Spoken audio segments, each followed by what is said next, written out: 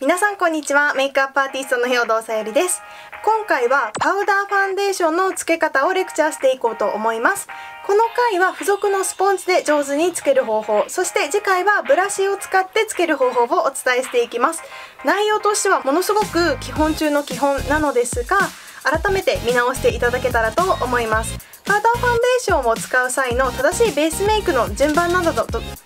順番などの動画も出しているのでよろしければ上からクリックしてご覧ください。それでは早速いきましょう。今回使用していくパウダーファンデーションは高原堂のグロスフィルムファンデーションです。このように付属で付いているスポンジを使用していきます。どのパウダーファンデーションにも大体入っている形のスポンジだと思います。滑らせるようにパウダーを取ります。大体スポンジの3分の1程度に取るように意識します。そしてお顔につける前で一度手の甲などにポンと置いてからお顔にのせましょう。お顔の中心から三角ゾーンに広げ境目をぼかすように塗っていきます。持ち方のコツとしてはギュッとスポンジを握るよりも指を添えてお顔の上で優しく滑らせるようなイメージで持つのがポイントです。お顔の中心から外側に向かうように塗っていきます。この時優しくお肌の上を滑らせていくようなイメージで塗っていきましょう。一番初めにファンデーションを置いた部分はやはり筋になりやすいのでスポンジで軽くぼかしてあげましょう。余ったファンデーションは鼻横に伸ばしてあげます。そして反対側もやっていきます。ポイントとしてはお顔の外側まできっちりとファンデーションを塗りすぎないことです。三角ゾーンを中心に境目をぼかす程度にしましょう。そして薄くファンデーションはつけていくこと。そうすることによって崩れにくく綺麗なベースメイクを作ることができます。スポンジを滑らす時このように皮膚が動いてしまうのは力の入れすぎです。お肌が動かないように薄いベールをかけるように滑らせることがポイントです。これだとつけた気にならないという方は重ね塗りをしましょう。アイゾーンにファンデーションを塗っていくためほんの少量ファンデーションを取ります。まぶたの上と眉毛の生え際にすり込むように塗っていきます。眉毛の生え際にも塗ることによってアイブロウののりアイブロウの持ちがすごく良くなります。次は額にファンデーションを塗っていきます。頬に塗った際に取った量と同じくらいの量をスポンジに取り眉上から上に向かって徐々に薄付きになっていくイメージで塗っていきます。そうすることによってお顔がより立体的で小顔に見えますし仕上がりもとても自然でナチュラルになります。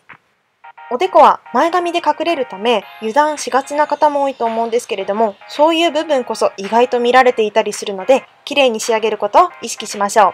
そうしたら次は鼻筋小鼻周りに塗っていきます。皮脂分泌が多い部分でもあるので塗りすぎには注意です。どうしてもね隠したいっていう方は下地やコンシーラーなどをうまく使ってなるべくファンデーションの量を少なくしましょう。そうすると崩れ方も綺麗ですしとても崩れにくくなります。そしたら口周りもできるだけ薄付きにするのがポイントです。目元口元は動きが激しいので崩れやすい部分。そして鼻筋小鼻周りなどは皮脂分泌が豊富で崩れにくい部分。なのでどちらもあまり塗りすぎないのがポイントです。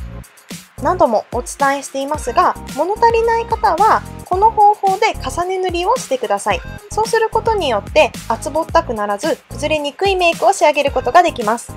私は頬の高い部分の薄いシミなどがカバーできてないのが気になるのでもう一度薄く重ねていきます。強くこすると1層目のファンデーションがよれてしまうので優しくスポンジをポンポンと当てるように塗っていくことがポイントです。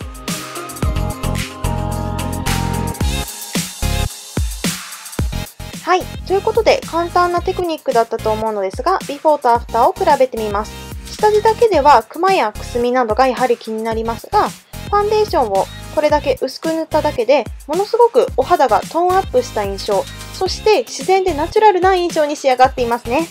そしてよく受ける質問について解説していこうと思うのですが、厚みのあるスポンジと薄いスポンジどう違うんですかということなんですけれども、厚みのあるスポンジはこのように弾力があるので手の力が吸収されますね。なので、テクニックがなくてもムラなく均一にナチュラルにのせることができるんです。薄いスポンジは手の力加減がダイレクトに影響してきてしまうので今回のように優しく薄いベールをかけるように塗るというのがすごく重要になってくるんですねなので私は普段のお仕事用では厚みのあるスポンジを使用しています。塗り方としては今回解説したファンデーションの塗り方と同じなのですがやはり付属のスポンジの方が便利ではあるのでそこはお好みで使い分けるといいと思います。このようにスポンジを持つといいというふうに解説されていることがありますがこれは嫌でも力が入らない持ち方になるのでどうしてもファンデーションを塗るとき力を入れすぎてしまうという方はぜひやってみるといいかと思います。はい。ということで、皆さんいかがだったでしょうか？付属のスポンジを使った方法をお伝えしました。皆様のこれからの参考になればとても嬉しいです。正しい方法でパウダーファンデーションを重ねていくと、崩れにくさ、厚塗り感がなく、しっかりとカバーすることができます。はい。ということで、本日も最後まで見ていただいてどうもありがとうございました。よろしければチャンネル登録と動画のシェア、インスタグラムと Twitter のフォローもよろしくお願いします。それではまた次の動画でお会いしましょう。さよなら